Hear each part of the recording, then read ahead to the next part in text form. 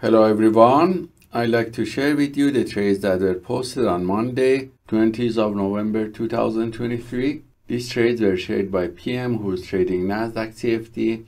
As you see the macro chart which was in the sideways range broke up Using the structural chart also you can see the uptrend channel and the area of pullback. So he used one minute trading chart and identified several area of long entries and entered and managed them and closed with exit strategy number one with high win rate and profit.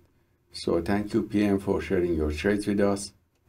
The next trade was shared by Yasin who's trading S&P 500 futures. As you see the macro chart is an uptrend and you can see also the uptrend channel in the structural chart with good momentum. So using a smaller trading chart, he identified this area of entry based on algo 1 to 5 and manage and close it with exit strategy number 1 with profit. So thank you Yasin for sharing your trades with us.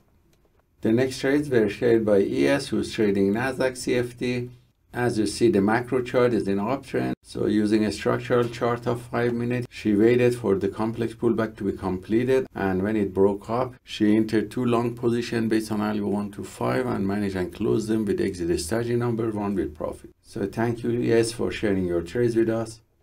The next trades were shared by Sam, our global instructor from Australia, who's trading gold USD. As you see, the macro chart reached an area of static resistance and the price got rejected. You can see the downtrend channel in the structural chart here. So you entered two sell short position here with setup C and manage and close this in the middle of the channel with good risk to reward ratio and profit. And you see the result of his trades here. So thank you, Sam, for sharing your trades with us. The next trades were shared by Jan, our global instructor, who's trading Nasdaq CFD. As you see, the macro chart, which was in the sideways range, broke up. And we can see also the uptrend channel in the structural 5-minute chart with good momentum.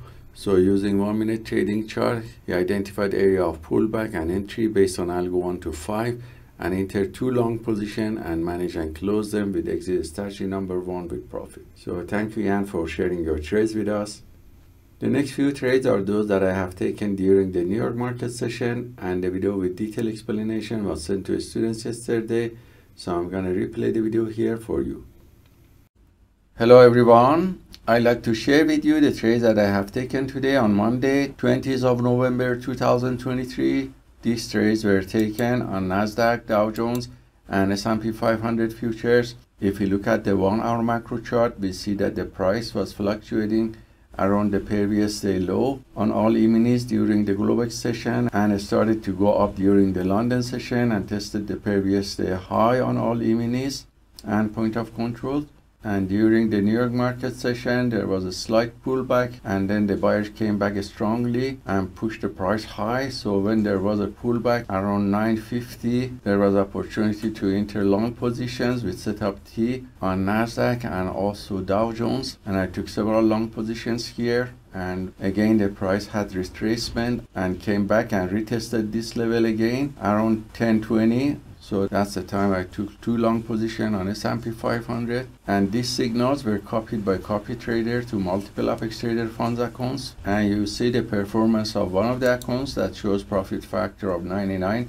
which is infinite because we had 100% win rate from the long positions taken.